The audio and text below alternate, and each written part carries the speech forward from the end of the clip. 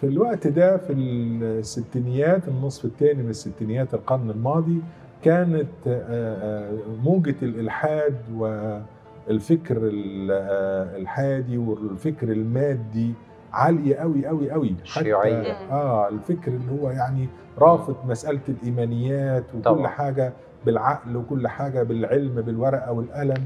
و و و كانت عالية قوي الموجة دي عالية قوي حتى سجلوها آباء الكنيسة في السنكسار السنكسار يوم 24 برمهات اللي. هو تذكار ظهور الست العذراء هنا في الزيتون سجلوا ال- الخبر ده إنه كانت موجة الالحاد وموجة الفكر الالحادي والمادي عالية قوي في العالم كله كان في العالم كانت. أفكار. مستوردة كمان يعني بالظبط في العالم. كله مش عندنا في مصر أيوة. بس وبالتالي آه، كان في شخصية في خارج مصر تدعي النبوة أيوه وقالت في بداية الستينيات نبوتين.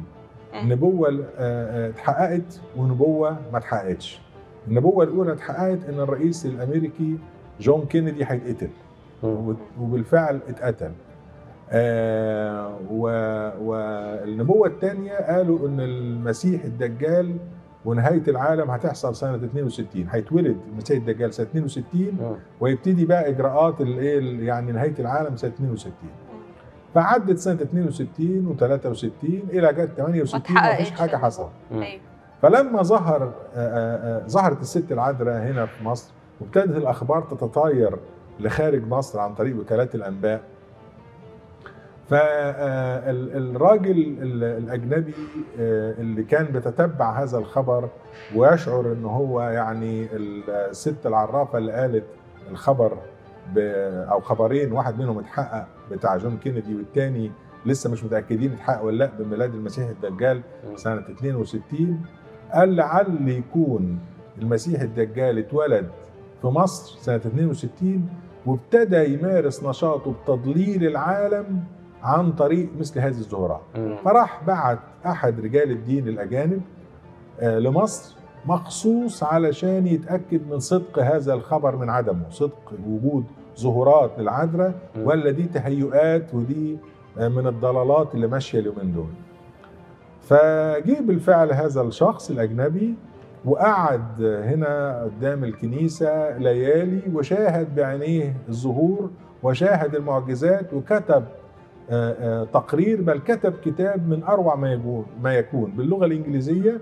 اسمه العذراء تعود إلى مصر. الله وهذا الكتاب يمكن غلافه هيظهر دلوقتي على الشاشة آه، آه، وموجود باللغة الإنجليزية وصدر سنة آه، 69 تاني سنة بعد الظهور وتحول هذا الشخص اللي كان بيشك آه، في آه، في الظهور وبينادي بالإلحاد والمادية و إلى آه، واحد من أكثر المؤمنين ومن أكثر الناس اللي دعوا للظهور. ثبت إيمان. فأطلع من القصة باختصار إنه لعل كان ربنا عايز يفتقد العالم. من الحرب اللي كانت موجهة آه، ليه في ذلك الوقت بالإلحاد والفكر ال- ال- ال- المادي الشديد اللي رافض للإيمانيات ورافض للمعجزات.